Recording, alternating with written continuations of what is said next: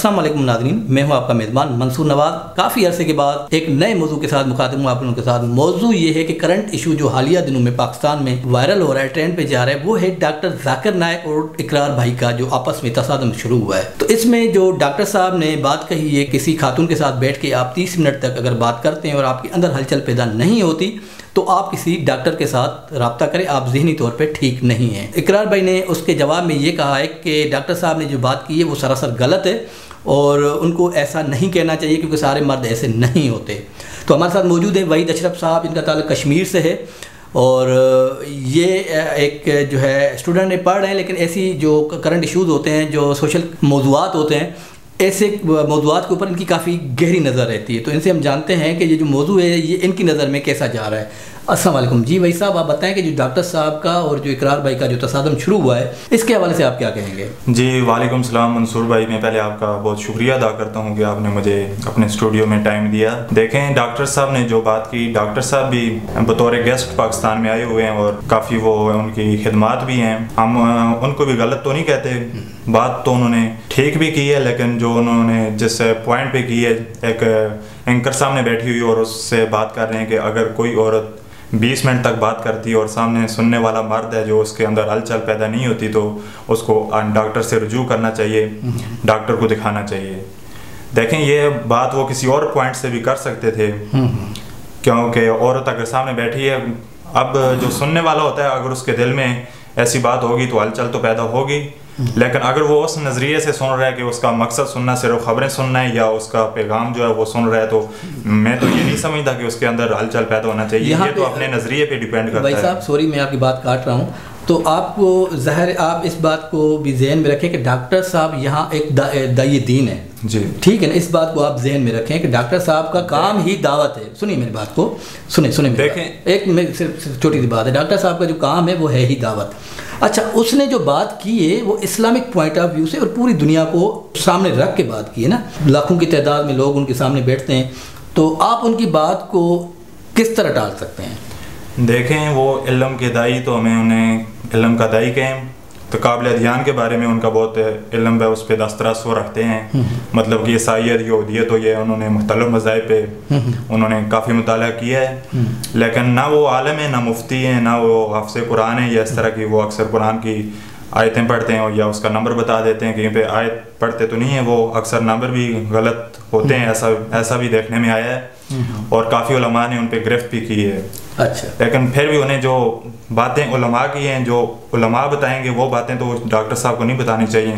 ठीक है उन्होंने बहुत सारे लोग मुसलमान किए इससे हम मुतफिक हैं। हम्म। और हमें खुशी भी होती है। उन्होंने लेकिन जो इकरार भाई ने उनके ऊपर बात की आप इस बात से एग्री करते हैं कि इकरार साहब ने जो बात की मैं तो इस बात से एग्री नहीं हूँ कि किसी औरत के सामने अगर बंदा बीस मिनट तक बैठ के बात करे तो हलचल पैदा होगी हम्म। हर इंसान के अंदर भाई साहब यहाँ पे ये है ना डॉक्टर साहब की जो बात थी कि वो उनका कहना था कि अगर कोई मर्द किसी औरत के साथ देखें अल्लाह ताला ने मर्द और औरत का जोड़ा तो बनाया है ना? इस बात को तो आप मानते अल्लाह ने बनाया है। भूख भी लगती है अल्लाह की एक सिस्टम बनाया हुआ है तभी लगती है ना? ऐसे ही मानते हैं इस बात को ना? और जो हलाल हराम है उसकी हदें भी अल्लाह ताला ने हमें बताई हुई है कि जो हलाल चीज़ है वो आपके लिए हलाल है वो खा सकते हैं। देखें अगर डॉक्टर साहब को इस बात का पहले ही पता था तो वो खुद खुद जाके औरत के सामने क्यों बैठे? देखिए वो मैंने आपको पहले इंट्रो में ही बता दिया कि डॉक्टर साहब जाइए इस्लाम है। वो आते हैं स्टेज पे उनके सामने सैकड़ों लोग आते हैं। अभी हालिया देखें आप इस्लामाबाद में उसने अगर आपने जो बात की कि कुछ बच्चियाँ आ रही थी बगैर पर्दे के स्टेज पे आ रही तो डॉक्टर साहब वहाँ से चले गए। पर्दे वाली बात तो नहीं है पर्दे में तो थी लेकिन वो छोटी बच्चियाँ थी तो डॉक्टर साहब ने उनको इनाम देने से मना कर दिया हाँ, कि ये गैर मारे में मैं इनको इनाम नहीं देता। ठीक है तो वहाँ पे तो उन्होंने मना कर दिया लेकिन जहाँ एंकर पर्सन अच्छा भाई साहब जरा के मुताबिक मुझे ये भी पता चला कि डॉक्टर साहब आप जैसे कह रहे हैं कि औरत के सामने नहीं जाना चाहिए जरा के मुताबिक मुझे ये पता चला है कि जो स्टूडियो था जहाँ में डॉक्टर साहब का जो प्रोग्राम रिकॉर्ड किया गया था। वो अलग कमरा बना हुआ था। वो एक टीवी स्क्रीन है ही है बिलफर्ज लेकिन डॉक्टर साहब और जो औरत बैठी हुई थी, वो अलग अलग कमरे में बैठे हुए थे। तो उनके जो कैमरा अलग अलग लगा हुआ था।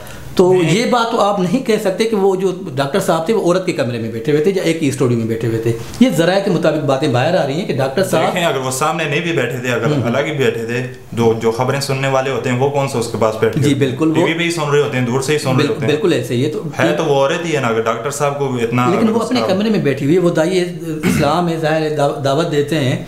तो वो उसके सामने हज़ारों औरतें वैसे सवाल भी करती हैं, उनके जलसों में भी आके सवाल करती हैं तो उसके लिए ये बात कोई बड़ी नहीं थी। अच्छा यहाँ पे नाजरीन मैं एक बात का नुकता ऐड करूँगा कि डॉक्टर साहब ने सिर्फ़ ये कहा है कि अगर आपके अंदर किसी औरत के साथ बैठे हैं और कोई चीज़ फील नहीं होती तो आप किसी डॉक्टर से रुजू करें। तो यहाँ पर बात ख़त्म नहीं होती। आजकल के दौर में अगर आप किसी औरत के साथ तीस, पैंतीस, चालीस मिनट तक बैठे हुए हैं और आपके अंदर फीलिंग नहीं क्रिएट हो रही मर्दान की जिसको कहते हैं, मैं आसान वर्ड में बता दूँ, अगर आप मर्द हैं तो ज़ाहिर अंदर शैतान तो हर बंदे के साथ होता है, अगर फीलिंग किसी भी टॉपिक के, किसी भी मौजू के ऊपर आपको शैतान तो बहलाने की कोशिश करता है। नहीं हो रही, और आप या तो फिर वो डॉक्टर साहब वाली बात कि आप जो है किसी डॉक्टर से रुजू करें, या फिर आजकल ये आप मोमिन आदमी हैं। बहुत ही नेक, जो आजकल के दौर में बहुत कम मिलते हैं। तो आजकल के दौर कैसा जा रहा है किस तरह चल रहा है वो तो आप सबको पता ही है। तो हम ये नहीं कह सकते कि कौन मोमिन है और कौन जो है वो एक बहुत बड़ी बात है और एजाज़ की बात है। तो जी वही साहब आगे आप क्या कहेंगे? मैं तो ये कहूँगा कि अगर डॉक्टर साहब ने ये जो बात की है कुछ हद तक तो वो भी ठीक हैं। है ऐसा कुछ लोग होते हैं अगर कोई औरत सामने बैठी है उसकी बात सुनेंगे तो। इस्लाम तो ये कहता है कि औरत की जो आवाज़ है वो भी पर्दा है। हम्म। वो अगर किसी के कानों में पड़ती है तो तब भी उसकी तरफ़ वो माइल होता है। लेकिन जब डॉक्टर कोई बंदा अगर किसी की खबरें सुन रहा है तो उसका ध्यान जो होता है खबरों की तरफ़ होता है ना कि उस औरत की तरफ़। हाँ जो जिसके जिस पे शैतान अवी हो और उसके दिमाग में वही बात घूम रही हो उसका ध्यान ही औरत की तरफ़ हो तो अच्छा, इकरा, तो इकरार साहब ने भाई साहब मैं आपको एक बात बताऊँ इकरार साहब ने कहा हुआ इकरार साहब ने नाजरीन में इकरार साहब तो ज़ाहिर है एक नामी गिरामी शख्सियत है पूरे पाकिस्तान की। अच्छा इकरार साहब ने जो बात की हुई है उसने सिर्फ़ अपने आप को प्लेटफॉर्म पर रखे क्योंकि वो मीडिया से रिलेटेड हैं मीडिया मीडिया प्लेटफॉर्म्स पे काम करते हैं और उनके सामने ज़ाहिर है औरतों के साथ हर जगह पे उनका आना जाना रहता है। तो उन्होंने अपने आप को सामने रख के कहा कि डॉक्टर साहब ने ये बात गलत की है कि अगर कोई औरत के सामने साथ तीस पैंतीस मिनट तक बैठता है तो उसके अंदर कैफियत तारी नहीं होती तो वो किसी डॉक्टर से रुजू करे। तो इकरार साहब भी अपनी जगह पे ठीक है क्योंकि उन, उन्होंने सैकड़ों जलसे किए हैं, सैकड़ों प्रोग्राम किए हैं और उन सैकड़ों औरतों के साथ वो बैठ चुके हैं। तो ये बात तो ठीक है कि इकरार साहब के अंदर ऐसी चीज़ नहीं तारी होगी क्योंकि इकरार साहब की जो उसका काम ही अलग है वो चीज़ ही अलग है। वो एक जनरल यूथ के लिए बात कर रहे थे जनरल जो पब्लिक है उसके लिए बात कर रहे थे जो आप ऑफ़ कैमरा होते हैं या मतलब एक उनका कहने का एक और अंदाज था। तो इकरार साहब ने शायद उस बात को अपने ऊपर ले लिया ऐसा कुछ नहीं था। जी तो आगे आप नहीं उन्होंने इस बात को अपने ऊपर तो नहीं लिया। हम्म। उन्होंने लेकिन बात तो सामने रख के ही बात की उन्होंने देखें? उन्होंने जिस तरह बात की है वो मैंने भी उनका क्लिप सुना है उन्होंने जिस तरह बात की उन्होंने अपने ऊपर ही लिया है। अपनी बात की उन्होंने। अगर वो बाहर निकल के कैमरे से बात करते तो इतनी बड़ी बात वो नहीं कर सकते थे क्योंकि उनको हमसे ज़्यादा बेहतर पता मुआरे का इकरार साहब को है। वो बात तो ठीक है वो बात तो ठीक है। डॉक्टर साहब का भी यही काम है वो भी अक्सर कैमरे के सामने होते हैं औरतों के साथ उनके सवाल जवाब और औरतें बहुत उनके सामने आती हैं। हम्म। तो डॉक्टर साहब ने ये बात बोली इसका मकसद कि उनके अंदर भी हलचल पैदा होती होगी पैदा होती ये मर्द और औरत में फितरती चीज़ है ना। देखें इतना बड़ा इंसान और जिसको इस्लाम का दाई भी आप तो ये तो नहीं देखें इतना बड़ा इंसान है लेकिन हम उसको वली नहीं कह सकते ना। उसके अंदर अगर ऐसी हलचल पैदा हो रही है फिर तो उसके इस्लाम का दाई होना ही नहीं चाहिए। जो अपने आप पे काबू नहीं रख सकता तो वो लोगों को क्या दर्श देगा? देखें ये एक फितरती चीज़ है। हम उसको वली तो नहीं इस्लाम तो... देखें आप देखें ये फितरती चीज़ है अल्लाह ताला ने एक सिस्टम बनाया ना वो तो खुद को कुछ भी नहीं समझता। उसके हर लेक्चर में डॉक्टर साहब तो कहते हैं मैं कुछ भी नहीं हूँ तालब इलम हूँ। वो सबसे पहले स्टेज पर आके यही बात कहता है कि भाई मुझे आप कुछ ना समझो। मैं सिर्फ़ तालब इलम हूँ अभी सीख रहा हूँ मेरी ज़बान भी लड़कर आ रही है।